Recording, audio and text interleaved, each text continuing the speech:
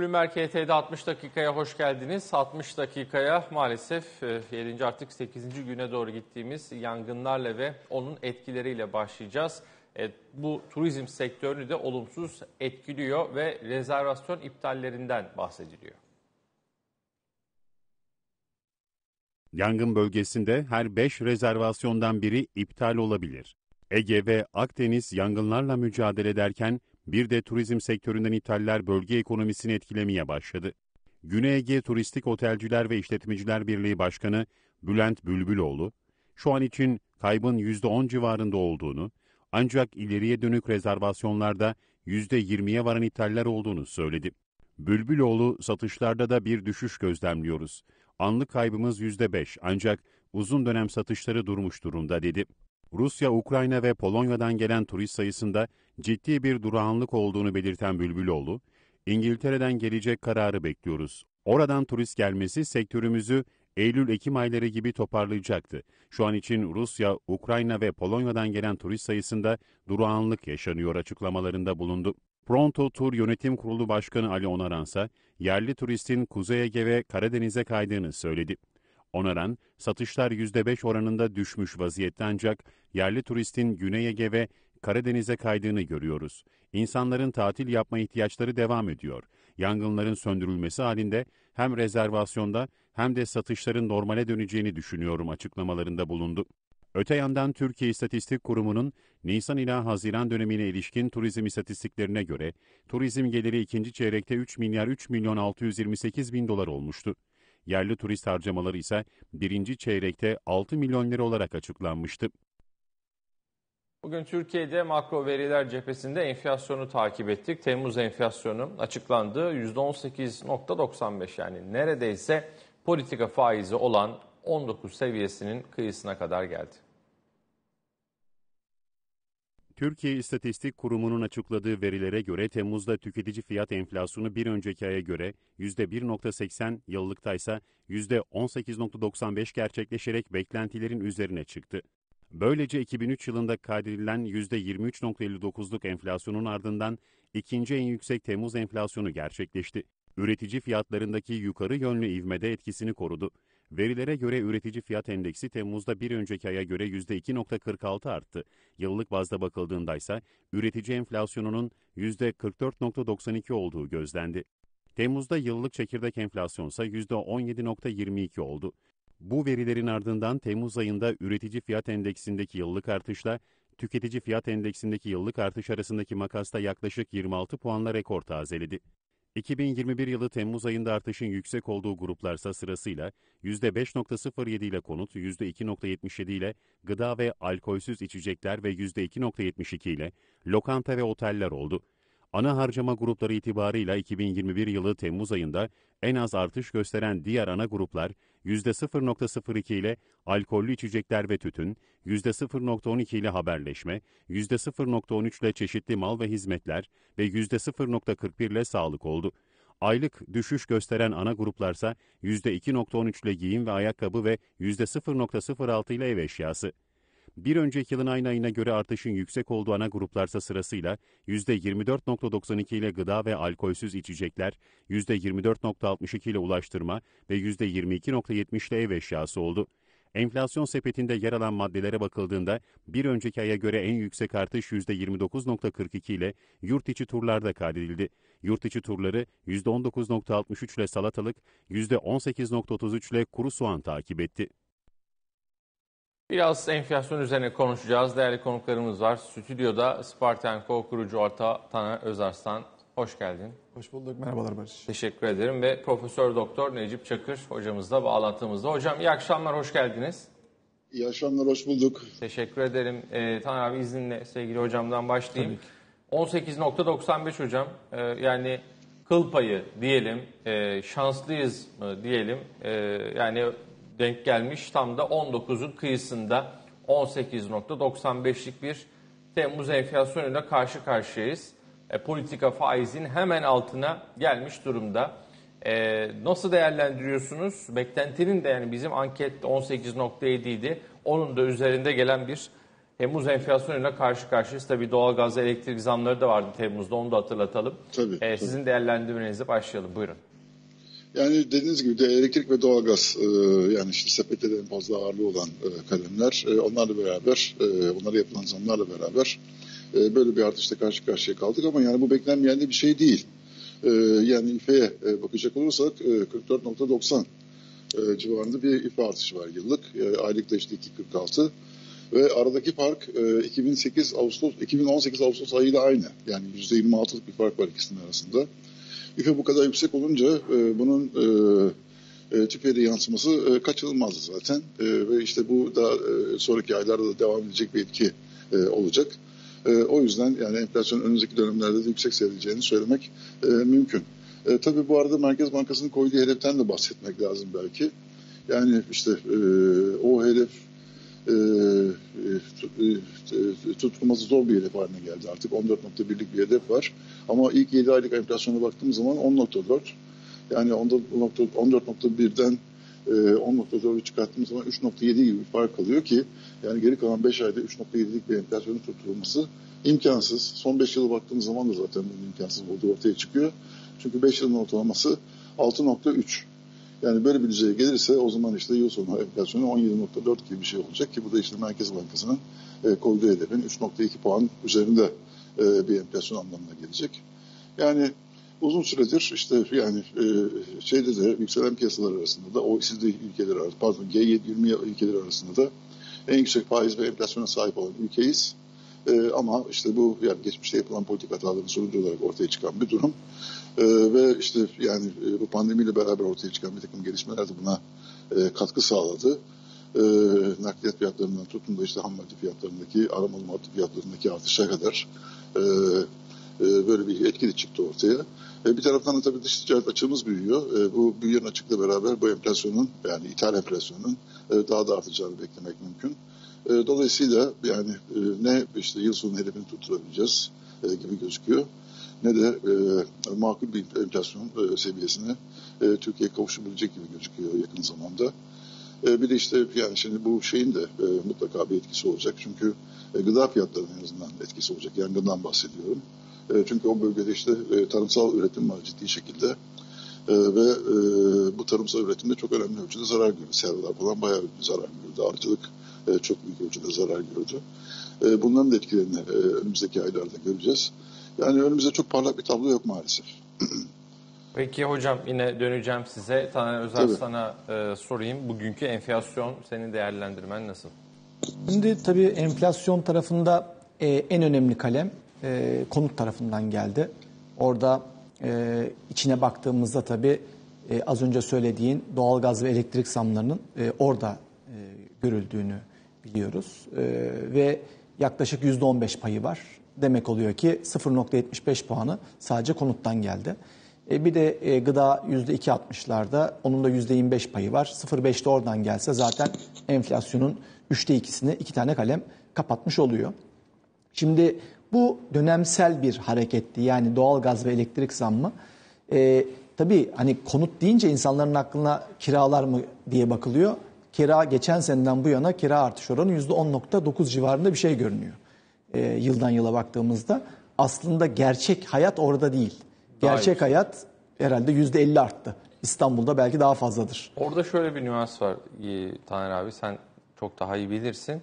TÜİK e, kira fiyatlarını alırken mevcut kiracıları takip ediyor. Tabii, tabii. Ama işte ev boşaldıktan sonra yeni bir kiracı geldiğinde o kirayı almıyor. Ya da sıfır ev e, işte kiraya verildi, yeni ev yapıldı. İlk kiracı onu almıyor. Mevcut kiracı, devam eden kiracının kira fiyatlarını alıp oradan bir hesaplama yapıyor. Doğru. O yüzden e, şunu anlıyoruz. E, konut fiyatları önümüzdeki belki 2-3 yıl konut tarafı en büyük e, enflasyon kalemi olacak. Çünkü ister istemez her artış oranı bir şekilde yansıyacak.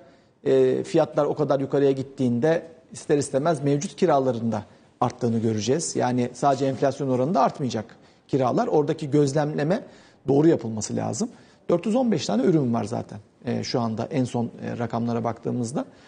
E, bunlardan bazıları yani benim hani enflasyon konusunda niçin e, insanların hissettiği enflasyonla gerçekleşen enflasyon arasında fark dediğimiz e, noktalardan bir tanesi bazı ürünler var ki hiçbir zaman e, şu anda ölçülmüyor. Yani hac mesela, umre bunlar mesela sıfır geçiyor. Şimdi gerçekten hac olsa herhalde %70 artar fiyatlar. Geçen seneden bu yana. Onlar sıfır geçiyor. O sıfır geçtiği için enflasyonun içerisinde en aşağı 10 tane kalem mesela servis ücretleri, okul ücretleri, özel okul ücretleri sıfıra yakın. Çünkü bir zam olmadı geçen seneden bu yana diye varsayılabilir. Yani onlar Eylül-Ekim'de enflasyon olarak geri gelecek ve yüksek oranlarla gelecek. O yüzden hissedilen henüz daha insanlara gerçek anlamda bazılarını sıfır gördüğümüz için onlar ortalamayı aşağıya çekiyor. Ben şöyle baktım. Ee, en pahalı ürünlere baktım. En pahalı ürün araba diye başlıyor. İşte dizel araba vesaire diye iniyor aşağıya. %100'e yakın artmış geçen seneden bu yana. Benzinli araba %75 civarında. En pahalılardan itibaren baktım. İlk onunun fiyat artışı %29. Aşağı doğru inince %27 falan böyle aşağı doğru iniyor ama %19'u buluncaya kadar 415 tane ürün almak gerekiyor. Dediğim gibi o sıfır geçen ürünler de bunun içerisinde. O yüzden hissedilenle gerçekleşen arasında fark var. Onun nedeni de kapsamın e, insanların hayatına tam olarak uymaması veya veya örneğin pirinç 10 liradan 14 liraya çıktı diyelim. Orada yüzde 40 gibi görünüyor. E, ama insanların daha çok harcama yaparken e, daha çok para harcadığı ürünler ne kadar arttı? Bizi daha çok aslında o ilgilendiriyor. Yani televizyon, bulaşık makinesi alman gerekti. %75 ile %80 arasında artmış geçen seneye göre. Böyle kırılımla baktım. Benim bir susebili örneğim var. %75'tir, 100'dür. Öyle mi? %100'ün üzerinde yani. %100'dür. Susebilinden bahsediyorum. Ama Ee, daha önceki programda söylemiştim. 1500 liraya zamanında benim pahalı deyip almadığım Susebil'in fiyatı şu an 2800-2900 TL.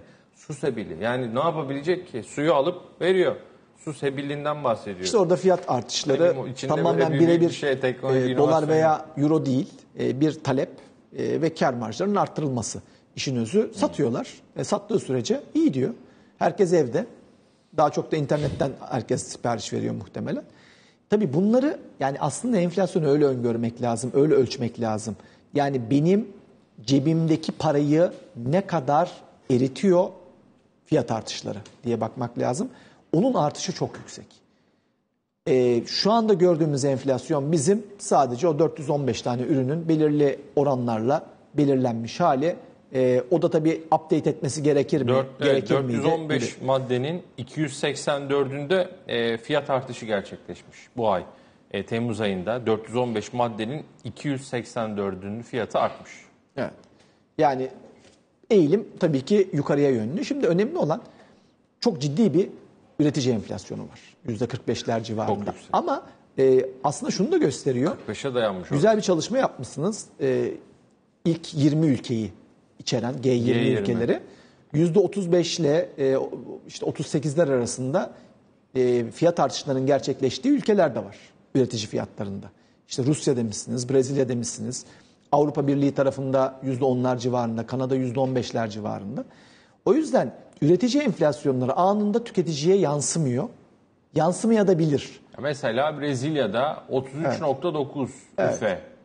Orada da çok 8.4 yüksek. tüfe.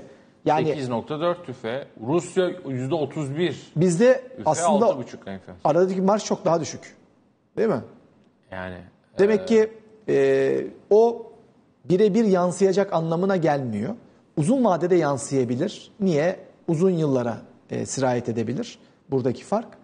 Aynı şekilde e, birebir e, iki tarafa geçişkenlik olacak anlamına gelmez. İkisini ayrı ayrı değerlendirmek gerekir. Tabii hocamızın da söylediği gibi e, Merkez Bankası'nın enflasyon hedefinin tutmayacağı açık. E, zaten tahmininin. tahmininin. Hedef zaten tutmadı Hedef bugüne kadar. Yani ben tuttuğunu hiç görmedim. E, işin açıkçası. Bir 2012'de yaklaştık. 6 civarlarına gelmiştik. Ama o 5 hedefi öyle bir hedef olarak kalıyor. Ama niye var onu da bilmiyorum. Çünkü hedef deyince tutturmaya çalışırsın. Bizde hep 5. E, şimdi 14.1'in olması için onlar civarında zaten e, ilk e, 7 ayın toplamı var. Şimdi geriye kalan dönemde ne olur enflasyon? Ee, geçen senenin Ağustos'u 0.85'ti.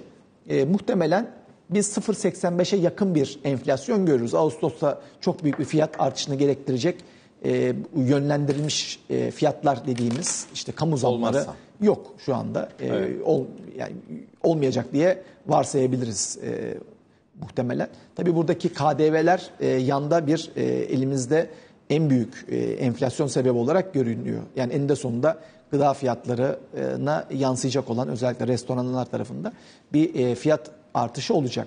Ama uzun vadede önümüzdeki 5 ayda e, Ekim, Kasım aylarındaki yüksek enflasyonlar var. Yüzde 2.7'ler. Şimdi o dönemlerde e, enflasyonun bu yıllık enflasyon baz etkisinden dolayı aşağı doğru dönmeye başlayacak. Yani biz Ağustos'ta e, bir miktar aşağı doğru bir enflasyon yaşayabiliriz. 0.85'in altında geldiği sürece. Sonraki ayda e, aynı şekilde öyle ama esas e, kırılmayı muhtemelen Ekim enflasyonunda yaşayacağız. Yani Kasım ayında açıklanan e, rakam bize sert bir düşüş ortaya koyacak. İşte orada biz faiz indirimlerine daha fazla dillendirmeye başlayacağız. E, çeşitli tabii e, yorumlar, analizler var ama Soracağım onu ben. evet. Ee, önce bir hocaya döneyim izninle. Ee, Tanrı abi devam ederiz. Ee, sevgili hocam, Tanrı abi de anlattı, biraz hesapladı. Ee, Merkez Bankası Başkanı Sayın Kavcıoğlu demişti ki ben enflasyonun üzerinde bir faiz vereceğim. Politika faizinden bahsediyor. Şu anda e, neredeyse kafa kafayız. Yani kıl payı altındayız. Diyelim ki e, yani e, bu Ağustos enflasyonunda biz 19'ların üzerine doğru bir çıkış gördük. Ee, bu durumda Merkez Bankamızdan herhangi bir adım atmasını bekler misiniz? Yani beklemek başka bir şey, gerçekleşmesi başka bir şey tabii ki. Yani çünkü yani e, iktisadi olarak bakıldığı zaman e, beklerim tabii ki. Yani işte bu e, yani önde, önden yüklemeli bir program çerçevesinde faiz artışının e, enflasyonu işte engellemek için, düşürmek için e, yükseltilmesini beklerim ama yani bunun gerçekleşebileceği bir politik ortam olduğunu düşünmüyorum doğrusu. Ee, ve yani işte enflasyon e, 19'un üzerine çıksa da bu politika faizinin e, bu şekilde kalacağını ve daha fazla artırılamayacağını e, düşünüyorum. E, burada çok ciddi bir politik baskı var biliyoruz. E, yani şeyden hükümetten kaynaklanan. E, dolayısıyla e, Türkiye'de faiz e, artık yani yükselmesi faizin bir fetiş haline gelmiş vaziyette. E, bu yönde bir adım atılacağını düşünebilmek çok zor. Ama faizi yükseltmeden enflasyonu da kısa vadede engelleyebilmek çok zor. Yani yüksek faiz e, matah bir şey değil. Hiç kimse bunu istemiyor. Ama işte para politikasının gereği olarak bunu yapılması lazım. şimdi işte bir şey var. Türk lirası piyasada bayağı kıtlaşmış vaziyette. E, bu belki işte bu sürece biraz yardımcı olabilir.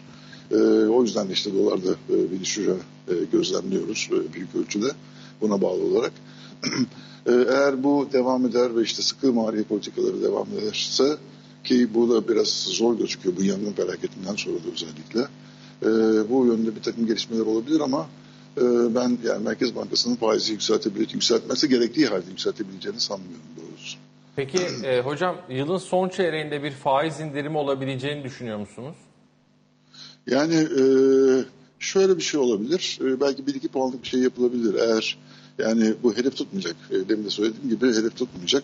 Yani sadece 3.7'lik bir enflasyon kaldı geri kalan 5 ay için. Ama yine de işte yani son 5 yılın ortalamasını aldığımız zaman işte bu %17'lere karşılık gelen bir şey ediyor. E, enflasyon oranı ediyor. O zaman belki 1-1,5 puanlık bir azalma yapılabilir e, burada. E, ama onun ötesine geçecek bir azalmanın e, mümkün olabileceğini düşünmüyorum doğrusu. Ama tabii yani önümüzdeki dönemin ne getireceğine de bağlı. e, çünkü dediğim gibi demin yani gıda fiyatları işte yüzde 25 e, 94-60 vaziyette. E, ve işte e, bu bölgelerdeki tarımsal üretimin yani yanan bölgelerdeki tarımsal üretimin zarar görmesiyle beraber e, burada bir miktar daha artış beklemek e, mümkün. Tabii nakliyatta da ciddi sıkıntılar yaşanacak. O bölgeden yapılacak nakliyatta. Onlarla beraber enflasyonu, enflasyon artırıcı bir etki e, gözlemlenebilir. Bir de tabii bir şeye dikkat etmek lazım.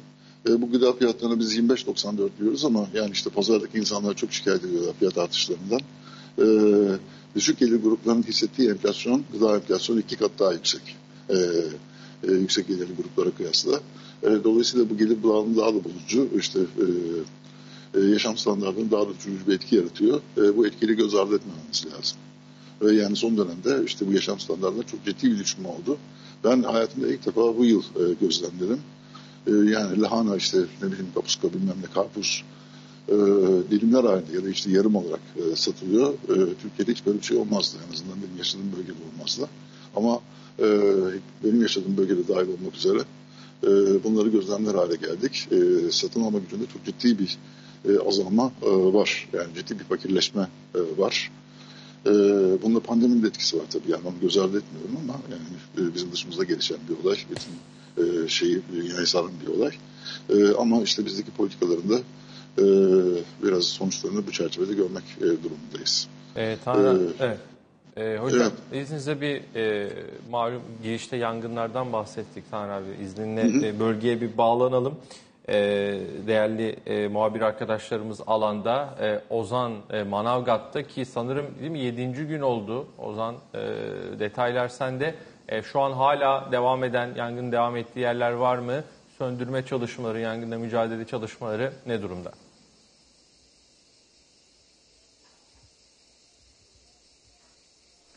Barış Esen Antalya'daki yangın artık günlerdir devam ediyor. Bir şehrin aslında üstüne güneş doğmuyor desek yeridir. Çünkü biz günlerdir güneşi göremiyoruz. Çünkü kara dumanlar artık güneşi de kapatmış durumda. Biz neredeyiz şu anda? Antalya'ya bağlı Gündoğmuş ilçesinin de Senir mahallesi içerisindeyiz Özcan Öztürk'le birlikte.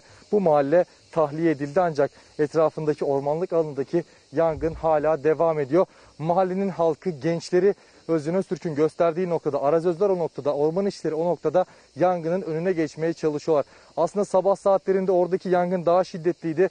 Mahallenin gençleri, orman işçileri, itfaiye erleri, farklı illerden gelen itfaiye erleri o noktadaki yangını söndürmeye çalıştılar. Bir kısmını söndürdüler de aslında ancak aradan saatler geçtikten sonra rüzgarın seyri değişince ormanlık alanındaki yangın yavaş yavaş da olsa köye yaklaşmaya başladı. O yüzden o noktada aslında hummalı bir e, çalışma var. Köye yaklaştırmamaya çalışıyorlar aslında e, yağmurları. Biz Habertürk Televizyonu'na saatlerdir yayın veriyoruz. 5-6 saat önce aslında bu noktada hiç helikopter yoktu. Yaklaşık bir saattir de Özcan Öztürk'ün gösterdiği noktaya tam mahallenin bittiği noktaya aslında ormanlık alanının başladığı noktaya ekipler havadan helikopter desteği vermeye çalışıyorlar. Ancak zaman zaman nokta atışı yapılamadığını söyleyeyim. Çünkü dumanlar artık gökyüzüne kadar sardığı için helikopterler de bu noktada rahat uçmakta zorlandıklarını söyleyelim. Bu noktada hummalı bir çalışma var. Barış Esen. Çünkü Gündoğmuş ilçesine de alevler trafiğe, kapa e, trafiğe kapattı. Çünkü bu noktada sık bir e, arazi. Bu, Antalya'da Akdeniz bölgesinde olmasına rağmen Karadeniz iklimi anımsatıyor. Çünkü ağaçlar birbirine çok sık aradan bir yol geçiyor ve hemen e, rüzgarın seyri değişince de alevler diğer noktaya ulaşabiliyor ki ulaştı da Gündoğmuş ilçesi Antalya'nın bir ilçesine artık bu noktadan Senir'den giriş çıkışlar kapatılmış durumda. 5 dakika öncesinde e, o noktada aslında biz ilçeyi kısmen de olsa görebiliyorduk. Şu an dumanlardan sadece birkaç bina seçebiliyoruz. Büyük bir ilçe olduğunu söyleyelim. Dumanlar artık bu noktayı tamamen kaplamış durumda. Yavaş yavaş da e, olsa aslında e, Çatal mevkine doğru ulaşmış durumda. Arka taraflara daha da hızla yayılarak artık iler, yavaş yavaş ilerlemeye devam ediyor. Güney Yaka, Karadere, Pınarbaşı, Güzelsu gibi e, mahallelerde artık bu noktada tehlike altında olmaya başladı. Saydığım mahallenin halkı, bu çevre mahallenin halkı artık ormanlık alanlarda nöbet tutmaya başladı. Gece gündüz demeden o noktalarda bekliyorlar. Ellerindeki sularla, e, kazmalarla, küreklerle yangına müdahale etmeye çalışıyorlar. Saydığım köy isimleri aslında yaklaşık 10-15 tane köy ismi saydım ancak Özcan Öztürk'le birlikte bir haftadır bu noktadayız. Bütün bu coğrafyaya e, yavaş yavaş da olsa hakim olmaya başladık. Dilerdik ki başka bir şekilde e, analım buraya ancak maalesef ki orman yangınları onun da önüne geçti ve bir türlü kontrol altına alınamıyor. Tamamen tahliye edilen mahalleler var Gündoğmuş ilçesinde. Orta Konuş, Umutlu, Narağacı, içinde bulunduğumuz Senir Mahallesi, Çayırönü Mahallesi hala tehlike altında olduğunu söyleyelim. Yangın işlemin devam ettiği noktalar da var aslında. Burada Narağacı'nda, Umutlu'da, Balkaya, Çayırözü ve Karabul e, mahallelerinde de hala yangın söndürme işlemlerinin e, devam ettiğini e, söyleyelim. Manavgat'ta da Ahmetler, Çardak, Beydin ve Sırtköy'de yangın söndürme çalışmaları hala devam ediyor. İleride kısmen de olsa alevlerin yükseldiği e, bir nokta var aslında. Oraya da helikopterler e, yavaş yavaş e, su bırakmaya başlıyor. Bir helikopter geldiğinde suyu bırakıp tekrar gelmesi 15-20 dakika kadar sürebiliyor. Bu da aslında yangını söndürmeye çalışacak. Rüzgarın seyri hızlıca değiştiği için kontrol altına alınamıyor. Senir Mahallesi'nde istedik. Manavgat'ta devam eden yangın var. Akseki'de devam eden yangınlar var. Ancak bizim gözlemlediğimiz mahalle halkı aslında elinden geldiğince hala çalışmalarını devam ettiriyorlar. Yani Orman işçileri var bu noktada. Ormanlık alanda yangın devam ettiği her noktada orman işçileri var, itfaiyerleri var. Başka illerden gelen itfaiyerleri var. Çalışmalar zaman zaman e, zorlanıyor. Alevlerin boyutu artık çok tehlikeli bir noktaya taşsa da ekipler çalışmalarını sürdürmüyorlar. Bu mahallede gençler var aslında. Gençler de ekiplere yardımcı olurlar. Gerek ekiplere soğuk su, ayran takviyesi olsun, gerekse itfaiye erlerinin hortumuyla birlikte o bölgeye giderek aslında yangın söndürme işlemlerine devam ediyorlar. Ancak dediğimiz gibi günlerdir bu noktadaki yangın kontrol altına alınamıyor artık. Yavaş yavaş da Antalyalılar bilecektir bu noktayı. Gün doğmuş mevkiinden eski odun deposuna kadar ilerliyor ve biraz önce de Buladağ mevkiine kadar ilerledi. Şu an e, Çatal mevkisinde gün doğmuşa bağlı Çatal mevkisinde ve bu bölgeyi gittikçe sarmaya başladı. Ekipler bir noktada müdahale etse rüzgarın esmesiyle birlikte artık yavaş yavaş e, farklı farklı metrelerce yüksekliğe aslında metrelerce farklı noktalara ulaşmaya başladı. Antalya'da sıcak bir hava var. Yaklaşık 45 derecelik bir hava var. Artık nem de buna eklenince nem de %5'e kadar e, düştü ve bu da ekiplerin işini zorlaştırıyor. Yangınların büyümesini e, sağlıyor ancak yine bu noktalarda görüyorum hangi noktaya kafamı çevirsem aslında alev görüyorum. Burada yanan evler var. Her evde aslında bir hikaye var. Herkesin bir hikayesi var ancak acı hikayeler, acı hatıralar e, bıraktı bu yangın. Dileriz ki bu yangın bir an önce son bulur ve artık Antalya'nın da başına üstüne aslında güneş doğar diyelim. Sözü tekrardan sana bırakalım Barış Eser. Ozan Kelleci, Habertürk muhabiri çok teşekkür ederiz. Kolaylıklar diliyoruz. Ee, bir başka muhabir arkadaşımız Kübra Demir e, bulunduğu bölgeden son durumu e, bizlerle paylaşacak. Kübra kolaylıklar diliyoruz. E, arkanda da ekipleri görüyorum. Nedir oradaki son durum? İyi toy geçmiyor. İdare ediyoruz ya toy. Teşekkür ederim Barış Esen. Saniyeler öncesinde hemen arkamızda bulunan noktada alevler yükselmişti ve ekipler canla başla savaşarak ki gerçekten o mücadeleye birebir tanık olduk ve o yangını söndürdüler. Daha da büyümeden söndürdüler.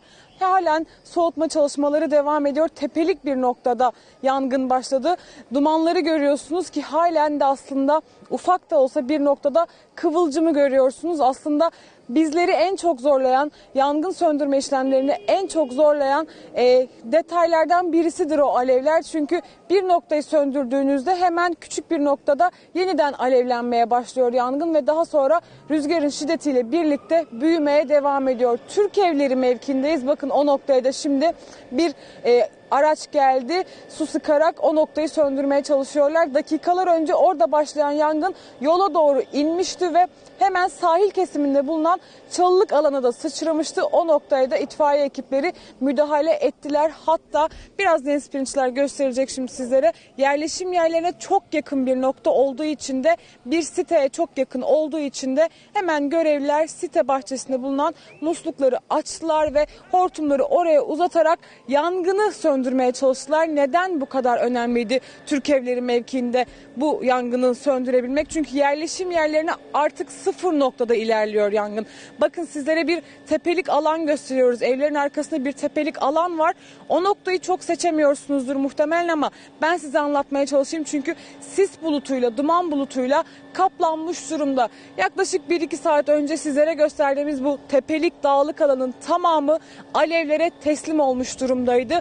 Türk Türk Evleri mevkii sabahtan beri yangınla mücadele ediyor. Ekipler yangının ilerlemesini engellemeye çalışıyorlardı ancak öğleden sonra şiddetini arttıran yangınla beraber artık yangını durdurmak mümkün hale gelmedi. Tabi hal böyle olunca da yangın kontrolden çıktı. Bakın biraz daha ilerleyelim. Deniz Pirinçler sizlere yangının devam ettiği noktayla yerleşim yerlerinin ne kadar yakın olduğunu gösterecek. Burada korkulan olmadı.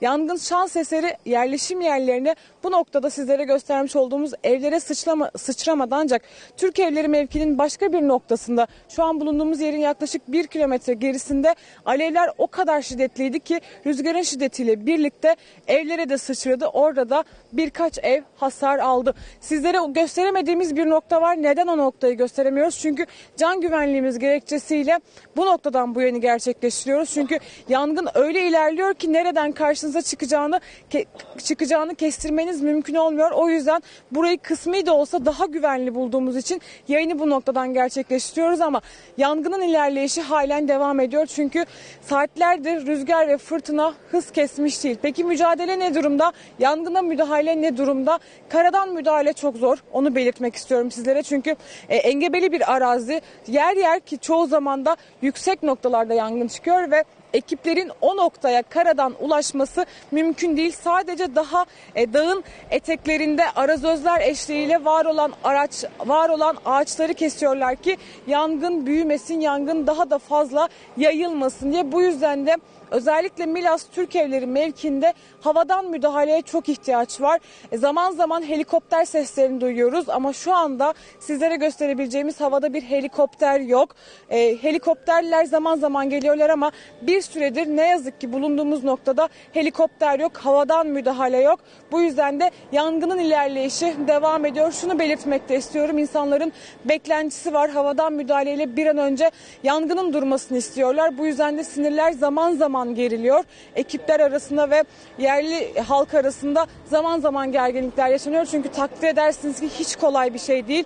Burada durduğunuzu hayal edin ve karşınızda bir alev topunun size yaklaştığını ve hemen önünüzde evinizin var olduğunu düşünün. Bu yüzden sinirler bulunduğumuz mevkide biraz gerilmiş durumda.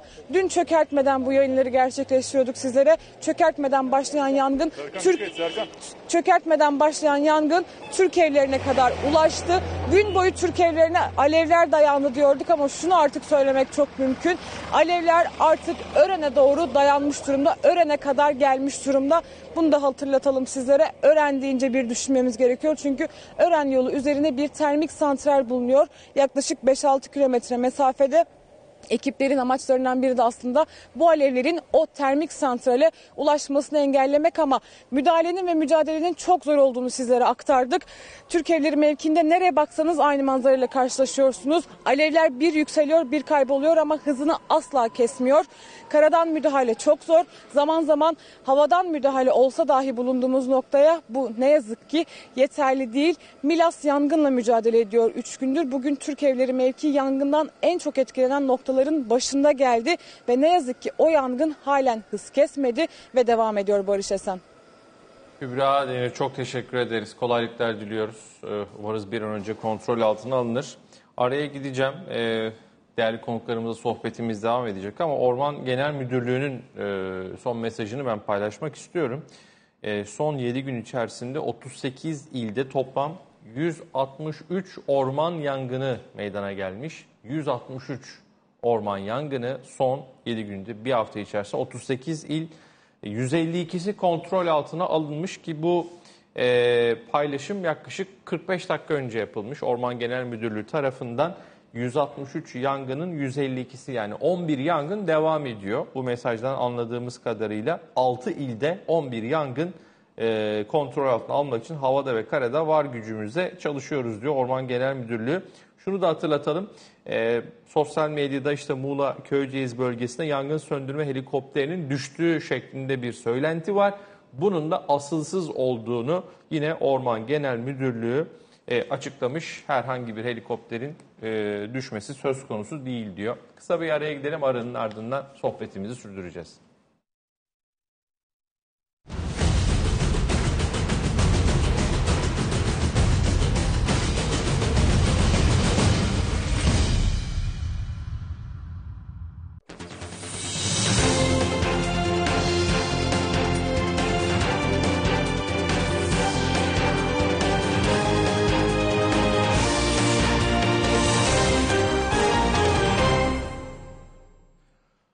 ...60 dakikaya devam ediyoruz. Profesör Doktor Necip Çakır ve Taner Özarslan konuklarımız. Hocam size dönmeden önce biraz e, bu enflasyon tablosunun piyasa etkisini Taner Özarslan'a e, soracağım. Sonra size devam edeceğim e, izniniz olursa. E, Estağfurullah. 8.40'lardayız Taner abi. E, bugün aslında enflasyon verisinin ardından 8.30 seviyesinin altını gören bir kur vardı ve e, yükselen enflasyona, beklentinin üzerine gelen enflasyona rağmen dolar TL nasıl düşüyor diye gün içerisinde sorduk. Şu an gün sonunda nihayetinde yukarıdayız ama e, TL'nin son bir aydaki performansı da dikkat çekici. Dün de konuştuk sevgili konuklarımızla. Sen bu enflasyonla bu TL'nin performansı nasıl uyuşturuyoruz? Şimdi e, birisi yurt içindeki fiyatlama, öbürü yurt dışındaki fiyatlama olarak bakabiliriz. Ne demek bu? E, dolar TL'nin yönünü yurt içindeki hareketlerden daha çok yurt dışı yatırımcılar belirliyor. Yani Türkiye'ye olan fon akımları daha çok belirliyor. E, yabancı yatırımcılarla e, Cumhurbaşkanımızın Biden'la yaptığı görüşmeden sonradan itibaren ilişkilerin ben jeopolitik olarak bir miktar daha geçmişe göre iyiye gittiğini görüyorum. Ve işte Avrupa Birliği ile, İngiltere ile, Amerika ile tüm temaslar daha olumlu gidiyor. Bu ister istemez e, oradaki fonlara, yatırımcılara yansıyor. Ve e, Türkiye'ye olan e, hiç değilse bir fon akımı var. İşte döviz rezervlerinin bir miktar arttığını görüyoruz. E, bir miktar kredi mekanizması hızlanıyor olabilir. Ama netinde baktığımız e, artık Türkiye'den e, bir sıcak para çıkışı gerçekleşmiyor. Bir taraftan e, turizm e, gelirlerinin e, az da olsa devreye girmiş olması tabii ki 2019'un çok çok altında ama geçen senenin üzerinde bir e, turizm geliri olduğunu e, görüyoruz. E, bu öyle veya böyle e, TL'nin güçlenmesine sebep oluyor. Bu e, birinci taraf. Yani bizim tamamen enflasyon tarafından bağımsız e, bir taraf. İkincisi TL hala şu anda dünyanın en yüksek faiz veren ülkelerinden bir tanesi Türk, e, Türkiye. Ve bu bir taraftan da e, yüksek faizin cazibesinden dolayı e, ilgiyi arttırıyor. Evet yurt içinde çok fazla TL tarafına geçiş yok. Hatta tam tersi geçen hafta dahi e, hala e, dolar tarafında yani döviz tarafında alımları vardı hem kurumsal hem bireysel yatırımcının. Ama yabancı yatırımcı bir de TL'nin faiz oranının cazibesine bakarak TL'ye park etmeyi tercih ediyor olabilir. Ve bu devam etmeye de yani bu süreç de devam edebilir Yani önümüzdeki dolar dönemde. TL'de düşüş önümüzdeki dönemde görebilir miyiz? E, görebiliriz, e, muhtemeldir bana göre. E, ki enflasyon ve faiz hemen hemen eşit olmasına rağmen yani reel faiz kalmamasına rağmen yabancı yatırımcıların tercihlerinden dolayı dolar TL e, aşağı doğru gelmeye devam edebilir. Ve bu da Merkez Bankası'nın elini güçlendiriyor. Özellikle e, faiz arttırımı e, tarafında bir baskı olabilir de. E, Merkez Bankası bugün kur 9 lira olsaydı faiz arttırımına gitmek zorunda kalabilirdi önümüzdeki aydan itibaren. Ya da e, Sayın Naci Ağbal döneminde 19'a politika faizi çıkarılmasaydı bugünkü mevcut enflasyonda belki şu anki yönetim faiz arttıracak mı arttırmayacak mı diye konuşurduk. 17 konuşurduk. ise mesela Muhtemelen faiz. de arttırmak zorunda kalırdı. Çünkü yani eksiye böyle 2 puanlık bir eksiyle muhtemelen sürdürülemezdi. Ama son 3 seneden farklı bir şey gerçekleşiyor. Bunu birkaç yayında da konuştuk. Ee, evvelden faiz yükseltilsin beklentisi hakim olur. Enflasyon geride kalmasına rağmen kur hareketlenirdi. Şimdi tam tersi oluyor. Kur faiz yükselmemesine rağmen, enflasyon yükselmesine rağmen kurun gerilediğini görüyoruz. Yani özellikle sabahleyin e, bunu net olarak gördük. Farklı bir şey oluyor. Bu e, fon akımlarıdır e, benim gördüğüm. O fon akımlarının gücü önümüzdeki günlerde artabilir, potansiyeldir. Yani Merkez Bankası'nda bu elini rahatlatıyor. Yani ben Ağustos'tan itibaren bir yavaş yavaş aşağı doğru bir düşüş ama dediğim gibi Ekim-Kasım aylarında özellikle yıllık enflasyondaki düşüş sayesinde Merkez Bankası'nın her halükarda e, faizini böyle bir 17,5-17 e, bandına doğru e, çekebilecek bir alan olduğunu düşünüyorum. Peki e, sevgili hocama döneceğim. E, bu arada e, değerli öğretim üyesi dostlarımızdan Atahan Birol hocam da e, işte bu satın alma gücüyle ve e, enflasyon karşısında maaşların durumuyla ilgili e, güzel bir e, paylaşım yapmış. Hocam diyor ki e, 2009 e, Ocak diyor. Öğretmen maaşı 1824 liraydı. Dolar kuru 1.78'di. 1025 dolar alınıyordu o dönem. Şu an diyor bugünkü kurdan bu 8660 liraya denk geliyor ama maaş 6300 lira civarında kaldı. Yani 8,5 yılda erimiş e, diyor. E, yani maaşlarda böyle dolara falan hesaplayıp maaş hesabı yaptığımızda e, işin içine gerçekten çıkamayacağımız e, ortada. Hele ki e, öğretmenlerimiz, işte öğretim üyelerimiz vesaire. E, hocama da bir kez daha selamlarımı ifade etmiş olayım buradan.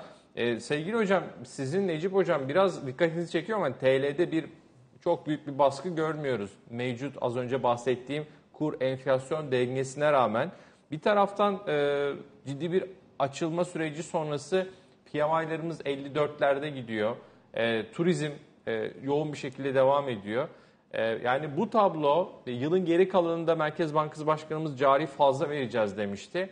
Kurun bu sakinliği e, enflasyon tablosuna rağmen bu açılma sonrası e, işte zamlar sonrası bu ne diyelim coşkulu enflasyona rağmen 19'a dayanmış enflasyona rağmen sakin bir kur size acaba bize ne ifade eder? Ee, yani beyefendinin saydığı etkiler geçerli tabii ki. E, yani katılıyorum o anlamda. E, hala çok yüksek bir faiz veriyoruz. E, diğer ülkeler kıyaslandığı zaman işte e, yani OECD ülkeleri pardon hep OECD diyorum G20 ülkeler arasında en yüksek faizi veren ülkeyiz. Yani aynı zamanda yükselen piyasalar arasında da en yüksek faiz veren ülkeyiz. E, dolayısıyla kısa vadede bu yüksek faizden yararlanmak isteyen e, ve risk iştahı Amerika'nın izlediği para politikasıyla artmış olan yatırımcılar e, bu piyasa e, durumdan yararlanmak isteyebilirler. Ama yani bu sürdürülebilecek bir şey e, olarak görmüyorum ben bunu. E, yani bunun kendi içinde bir takım sınırları var. E, bir süre sonra bu etkiler e, gevşemeye başlar ve ondan sonra işte Türk lirası değer kaybetmeye başlar. E, yani turizmde ben çok parlak bir tablo olduğunu e, düşünmüyorum maalesef. Yani bu yanan bölgeler e, Türkiye e, turizminin en e, temel e, noktaları ve rezervasyon iptalleri e, yaşandı. E, sizin haberinizde de belirtilmişti zaten. E, ve işte e, Rusya ve Ukrayna'dan gelen turistlerde bir azalma var. İngilizler eğer gelmeyecek olursa orada da e, ciddi bir sıkıntı yaşanacak. Bir taraftan tabii pandeminin etkileri var. İşte bu delta varyantı. E, dolayısıyla turizm gelirlerimizin e, evvelki sene kadar yani geçen sene kastetmiyorum. Evvelki sene kadar yüksek olacağını düşünmüyorum.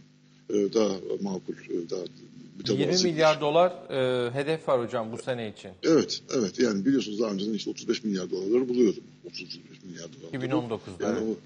o, evet, o hedeften uzağız. Ee, yani e, keşke olsa tabii yani öyle bir gelir kaynağı e, e, bulunsa Türkiye ekonomisi için. E, bu çok rahatlatıcı olurdu. e, şimdi işte bir 6,5 milyar dolar civarında IMF'den gelecek bir para var. E, bir de e, onu da e, bu çerçevede değerlendirmek lazım. E, ama başka bir şey daha var tabii benim burada dikkatini çekmek istediğim. E, BETAM'ın araştırması yayınlandı. Ozan Bakış arkadaşımızın yaptığı araştırma. E, o büyümeyle ilgili e, bir takım tespitlerde bulunuyor o araştırmada. İkinci çeyrekte büyüme geçen seneki işte eksi 10.3'lük büyüme performansından sonra baz etkisiyle çok yüksek gelecek. %18 civarında e, olacak gibi gözüküyor. Ama bunu mevsim ve takvim etkilerinden arındırdığımız zaman bir önceki çeyreğe göre kıyaslandığında eksi 0.7'lik bir şey var.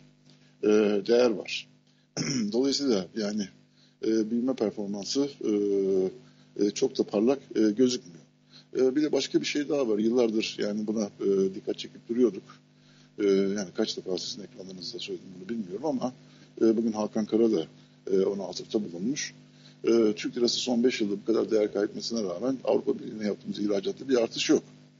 E, çünkü yani işte biz bunu hep söylemeye çalıştık. Burada e, kur esnekliği çok düşük. İthalatta ve ihracatta kur esnekliği çok düşük. E, buna karşılık özellikle Avrupa Birliği e, söz konusu olduğu zaman e, gelir esnekliği çok yüksek. Yani Avrupa Birliği'nin gelirleri arttığı zaman bizim ihracatımızda ciddi sıçramalar olabiliyor ama eğer onların gelirlerinde de bir azalma varsa ki Allah'tan PMI'leri falan gayet iyi gidiyor. E, bizim ihracatımız e, düşüyor. E, ve Avrupa Birliği de işte bizim en büyük e, e, ticari ortağımız bu anlamda. E, buna da e, dikkat çekmek lazım.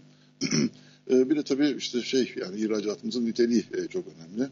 E, biz maalesef artık ihraç ediyoruz. Yani 1 milyon dolar karşılığında yaptığımız ihracat miktar olarak sürekli artıyor ama al, elde ettiğimiz gelir e, aynı kalıyor.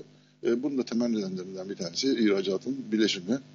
E, bu yani ihracat içindeki şeyin yüksek teknoloji ürünlerin payı çok düşük ve giderek de azalıyor bu pay. E, dolayısıyla e, bu anlamda çok ümit vadeci bir gelecek e, gözükmüyor. Bir de tabii uzun vadede başka bir şey daha var, sıkıntı daha var. Onu da belki konuşmak lazım bu çerçevede. Geçen sene yanlış hatırlamıyorsam 134 bin kişi yurt dışına gitmiş. Yani bunların hepsi de üniversite eğitimli insanlar. E, ve aralarında çok da parlak insanlar var. E, ve biz bu yani şey nitelikli emek kaybıyla beraber e, ileriki dönemlerde ciddi bir sıkıntıyla karşı karşıya kalabiliriz. E, bunu da göz önünde bulundurmak lazım. Dolayısıyla dış ticaret açımız artıyor e, bir taraftan. E, onun da işte bir takım geçici sebepleri var. İşte bu e, ham madde, ara madde yakıtlığı e, ve nakliyat fiyatlarındaki artışlar. E, yani bu geçici sebeplerden işte biraz ar- arınabilirsek belki bir anlamda rahatlama olur ama yani yine de işte dış ticaret açımızın artmasını engelleyemiyoruz. Ve maalesef işte çok yanlış e, politikalar da izliyoruz. Bunların başında tarım politikası geliyor. e, geçenlerde yine arpa ve buğday için e, ihale açıldı. Yani Türkiye tarım ülkesi. E, ihracat yapmamız lazımken ihracat, ithalat e, yapıyoruz. E, bir sürü tarım üründe de ithalat yapıyoruz. Yani bu, bu anlamda belki Rusya'ya örnek almamızda yarar var. Yani biz 21 milyon ton e, buğday üretirken Rusya 17 milyon ton üretiyordu. Şimdi 70-75 milyon ton ürettiler. Ve en büyük e, şeyleri e, ithalatçıları da Türkiye haline geldi. Biz onları satarken şimdi onlar bize satmaya başladı. Evet. Yani biraz daha uzun vadeli bir projeksiyon yapmak lazım. Şimdi yani yıllardır e, çok ciddi şekilde sera yatırımı yapıyorlar. Ve yakında biz domatesi de e, Rusya'dan almaya başlarız bu gidişle. E, çünkü domates üretiminde ciddi bir düşüş var. O da fiyatlara yansıyor zaten. E, dolayısıyla bütün bunları göz önünde bulundurmamız lazım ve işte enerjide de şimdi mesela %15 zam oldu bu ay. E, termik santralleri dayandı ya, yangın. Eğer onlar da etkilenecek olursa o zaman enerji fiyatlarında yine e, zam yapılmak zorunda kalmayacak. E, ve bu işte bize e, yani çok ciddi bir maliyet e, haline gelecek. E, yani bu işte termik santrallerden e, hatta nükleer santrallerden vazgeçip e, kendi kaynaklarımızla e, yenilenebilir enerjiye yönelirsek ki bunların megawatt e, maliyeti 40 doların altına düştü. Güneş ve rüzgarı kastediyorum. Evet. E, çok daha e, uzun vadeli e, yani e, sağlam bir politika izlemiş olacağız ve e, bu anlamda enerji bağımlılığımızı çok önemli ölçüde azaltmış olacağız.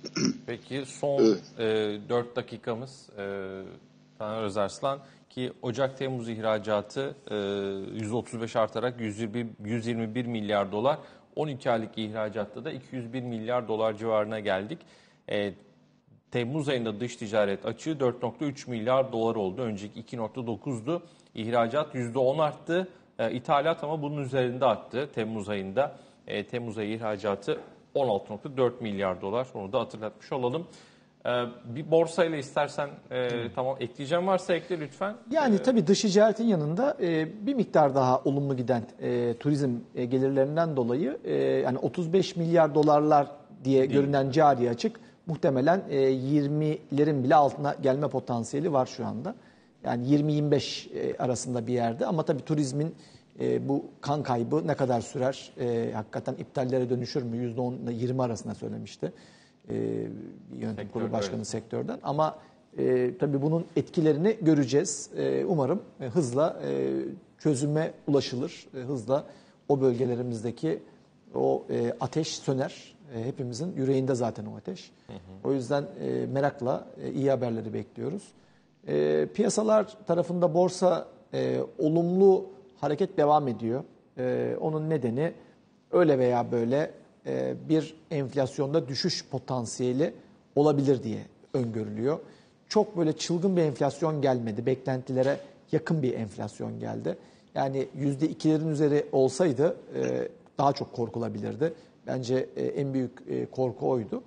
Bu gerçekleşmedi. Bana göre dediğim gibi e, biz yılı e, 17,5'lar, 17'ler civarında kapatırsak Merkez Bankası'nda faizlerde böyle bir 15,5'lara doğru gerileyebilir. Özellikle 2 yıllıklarda ve uzun vadede. O da e, piyasanın şu anda satın almak istediği, özellikle bankacılık sektörünün satın almak istediği en önemli beklenti. Şu anda bunun dörtler civarında. bir Ağustos'u falan geçmemiz mi lazım bu tablonun netleşmesi için? E, bunu önceden satın alırlar. Yani birileri önceden satın alacak ki gelecekte olacaksa ona speküle edecekler. Yani 3,5-4'ler civarında bankaların fiyat kazançları, piyasa değeri defter değerleri 0.35 ile 0.50'ler arasında. Yani bu kadar ucuz e, değerlemeleri biz krizlerde yaşıyoruz. E, şu anda evet yani 3 sene olarak baktığımızda bir kriz yaşadık mı? Evet döviz krizi yaşadık. Yani 3-9 oldu. Ee, evvelki krizlerde bunu böyle bir 6 ayda yaşardık. Tek farkı o. Ee, biz bunu yaşadık. Ee, ama bu kadar ucuz değerleme e, bankacılık sektöründe her zaman kar getirir. Ee, bu fiyatlarla alanlar her zaman e, uzun vadede iyi kazanç elde ederler. İlk önce yerli yatırımcının alması ideal. Yabancılar nasıl olsa öyle veya böyle geleceklerdir. Ee, o yüzden e, bir miktar böyle e, piyasa, hani borsa ile ilgili olumlu konuşulabileceğimiz dönemler uzun vade açısından baktığımızda zaten alırken kazanma ilkesi e, her zaman Evet. e, düşünülmeli. Çok teşekkür ederim. teşekkür ediyorum. Taner Özarslan. Ee, hocam çok teşekkürler. Profesör Doktor Rica ederim. Eyüp Çakır. İyi akşamlar diliyorum. İyi 21'de akşamlar. Ekonomik Görünüm 22'de küresel piyasalarda buluşmak üzere.